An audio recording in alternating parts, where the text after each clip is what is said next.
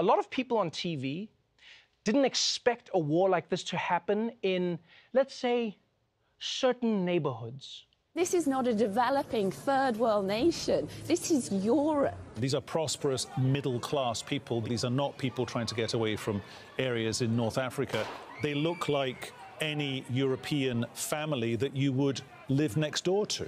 What could be a difference here from other conflicts, you know, that could seem very far away, you know, in Africa or Middle East or whatever. I mean, these are Europeans that we're seeing uh, being killed. This isn't a place, with all due respect, um, you know, like Iraq or Afghanistan. You know, this is a relatively civilized, uh, relatively European, I have to choose those words carefully too, uh, city where you wouldn't expect that or hope that it's going to happen.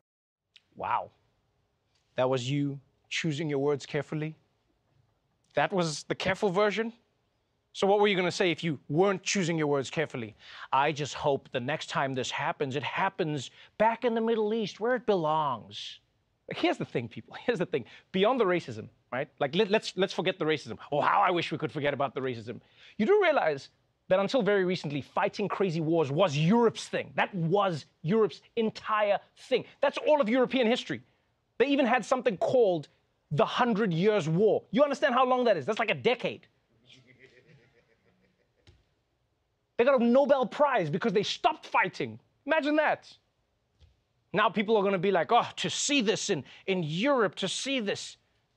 Like, I'll tell you now, I don't know about you, but I was shocked to see how many reporters around the world, by the way, seem to think that it's more of a tragedy when white people have to flee their countries.